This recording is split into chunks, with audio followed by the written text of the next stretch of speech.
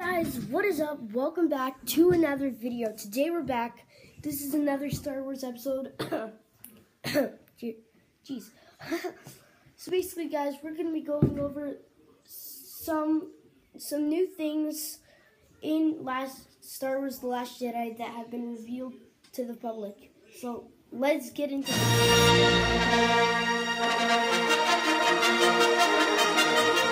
so basically, the first thing we're going to be going over is Kylo Ren's TIE Fighter. So, I believe they accidentally revealed this.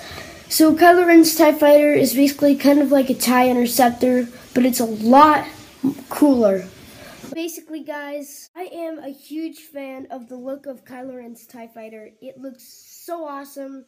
I can't wait to see it in The Last Jedi, December 15th, I believe it is. oh man. Let's get to our next one. The next one is a picture that was shown to the public by uh, someone who works for Star Wars, I guess. Uh, it was, I think it was like 52 pictures or something shown. It was something a little that big. Uh, or, or it was five or something. But this picture includes, um, includes General Hux, Kylo Ren, and Captain Phasma, but they all like have their helmets off and stuff. So I'm guessing to see that Captain Phasma will have a huge part without her helmet on. So basically, guys, as you can see up there at Captain Phasma, she actually has a new staff, which is really awesome. We also get a good look at Kylo Ren's uh, face right there if I'll zoom it in. Because as you can hopefully see, if you just look at that scar right there, I mean, that is a pretty big scar.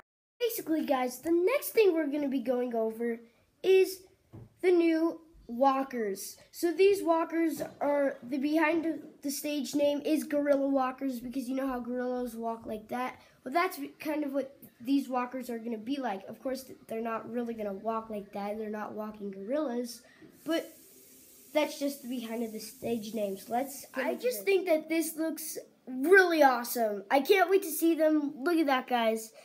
I mean, that is so much more different than in the original trilogy, like the walkers and stuff. Well, guys, thank you guys for watching this video. I hope you guys enjoyed.